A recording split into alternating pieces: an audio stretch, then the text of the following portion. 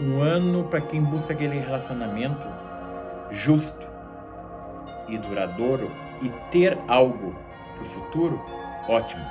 Para aquele que busca aventuras, não vai ser muito bom, porque aventuras não se leva a nada. Então, é o ano da mãe manjar também e procurar ter relacionamento mais familiar. É o ano da reflexão mais familiar para não ter discussões. As cores branca, mas não adianta tu botar um branco, não adianta tu achar que a roupa vai te fazer o bem se tu não mudar. Todo mundo pergunta que o ano 2023, o outro ano seja bom. Mas o que que tu vai fazer em ti para te melhorar que aquele ano for bom? Então, nada cai do céu, tu tem que saber fazer e se ajudar também.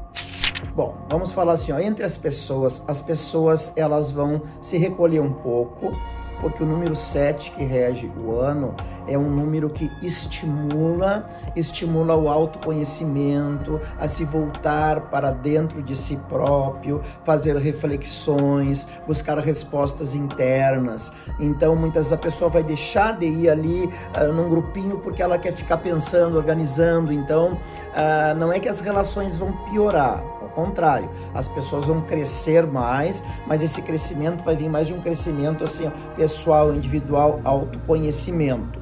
Nas relações afetivas, nós temos a regência do ano, que é Oxalá e Emanjá. O amor de Emanjá é um amor protetivo. Então, aquelas pessoas que buscam um relacionamento assim, ó, eu quero cuidar de alguém e eu quero ser cuidado essas pessoas vão estar vibrando dentro da energia do novo ano. Quando nós estamos afim com a, afins com a energia regente, as coisas fluem. Quando nós queremos algo assim, ao contrário da energia regente, nós não conseguimos. Então aquela pessoa, que, aquelas pessoas estão mais voltadas assim, aquelas relações mais líquidas, mais flutuantes, elas vão achar assim um ano péssimo para relacionamento. Agora aquela pessoa que está buscando algo mais sólido, ela realmente vai ter possibilidade de encontrar a sua, a sua cara metade. É, para quem já namora, pode ser que se juntem, né? Se casem ou vão morar junto, receber convites, propostas é um pouco mais profundas. Mas não vejo isso acontecendo tão rápido. Mas assim, é como se fossem alinhando, alinhando no 2023, mas a atitude vai demorar um pouquinho, né? Quem já tem um relacionamento, eu vejo assim que muitos irão procurar uma segurança fora daquele relacionamento. Quando eu falo segurança, não é só traição, ah, traição física, e sim uma segurança, aquela coisa assim, aquela afinidade que tu tem com o teu parceiro com a tua parceira, de repente não vai estar tá tão alinhada, aí tu vai buscar lá em outra pessoa aquela atenção.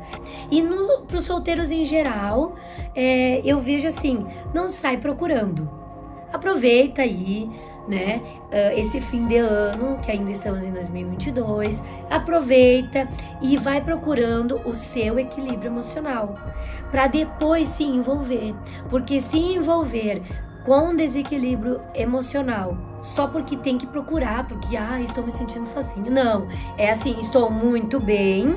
Então agora apareceu, justo nesse momento que estou muito bem, e aí surgiu as possibilidades aí vai em frente. Mas ficar procurando vazio ainda não vai ter sentido nesse outro ano. Em 2023, nós vamos ter a regência da Lua, a partir de 20 de março de 2023 até março de 2024. A Lua favorece o romantismo, sem dúvida nenhuma. E a Lua traz esse lado emocional à tona, mas principalmente um, um olhar para o passado, então, independentemente se for uma relação afetiva ou qualquer relação que nós tenhamos com as pessoas, o principal é que todos nós olhemos para o passado, porque todos nós temos uma criança interior ferida, uma criança interior que não teve uma família perfeita, ninguém teve uma família perfeita e nem nunca ninguém terá.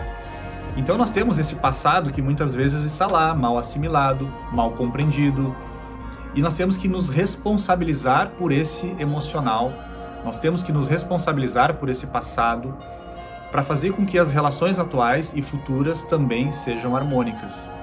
Então acredito que, de um ponto de vista principalmente astrológico, o principal é isso: é olhar para o passado, olhar para o emocional, se responsabilizar pelas suas próprias sensações, pelos seus próprios sentimentos e emoções, para que as relações humanas de todo tipo, principalmente, claro, né, numa relação afetiva, que é a mais atritosa, porque é a mais próxima, né, naturalmente vai ser atritosa, para que isso também seja também harmônico.